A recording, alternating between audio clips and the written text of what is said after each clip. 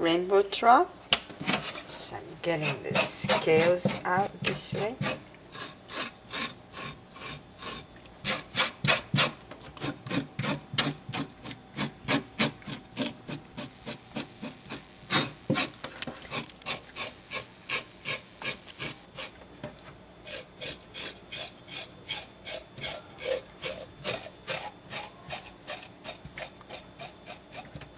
It's not easy when the guts are. I prefer guts in to do this. But it seems like people don't like to clean the fish by themselves. Scaled and rinsed, cleaned and rinsed. So I want to just split it open. Not this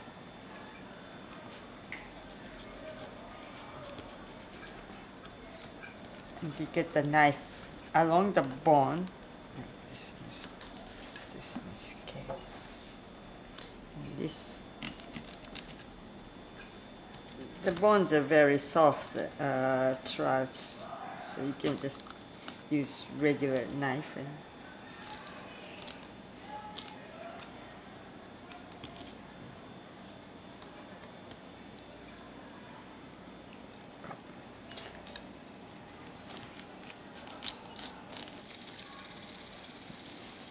sometimes I split the head like.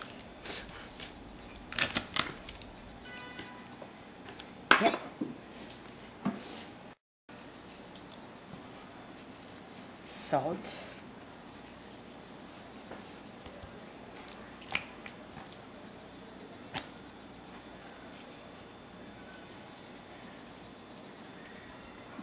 At least 15 minutes before you cook that you salt the fish. And 15 minutes in the fridge and you keep the fish in the fridge when it's hot particularly. And then uh, flour it. Not too much.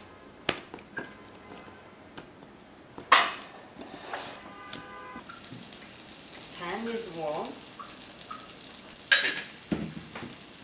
half and half butter and fat. I use olive oil.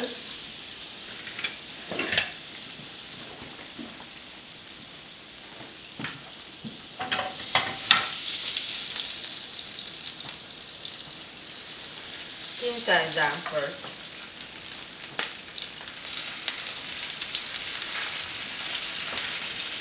Even though I don't eat the heads, there's not much to eat.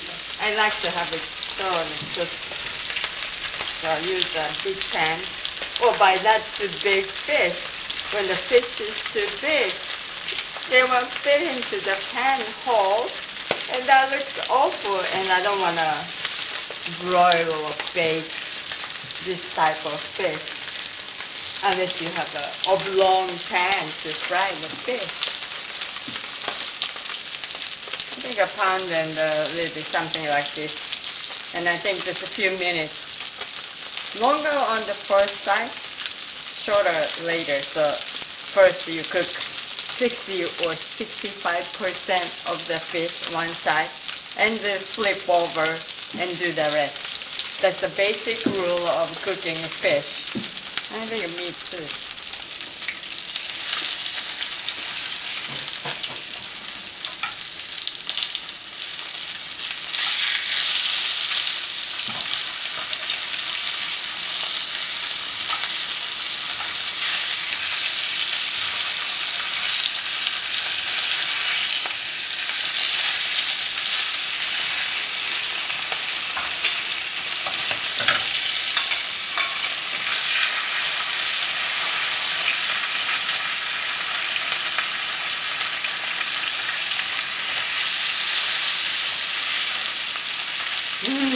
Smells good. Good fish should smell good. If it smells fishy, that's not a good sign of fish.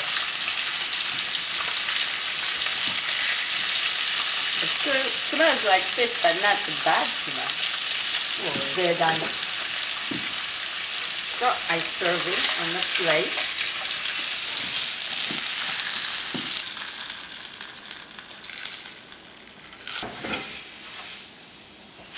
There will be some vegetables to go with. So this is the tonight's dinner. Rainbow trout, sauteed squash, corns, corn, uh, just uh, one ear of corn. Uh, they are all from Green Market at Union Square Park. Ooh. Mm. Buon appetito. That's how I eat fish. In a Japanese way, even that the cat will pass this fish. because nothing left. It was good.